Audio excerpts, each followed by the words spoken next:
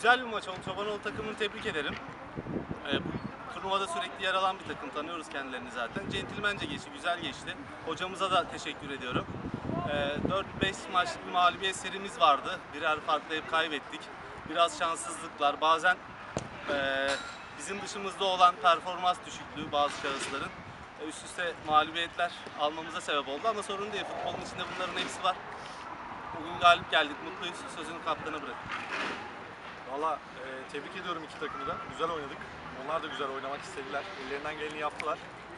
E, hal böyleyken 4-5 maçtır herhalde. Yani Ekim ayı içerisinde 7 maça çıktıysak herhalde ikisini kazanabilmiştik.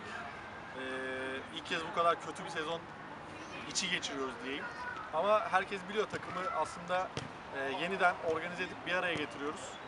E, ama lig sadece normal sezondan ibaret değil. Playoff'ları da var bu işin. Orası önemli. Oraya kadar e, en hazır şekilde hazırlanacağız. Ben e, kardeşlerim, arkadaşlarımı ve rakip takımı tebrik ediyorum tekrardan. Teşekkür ederim.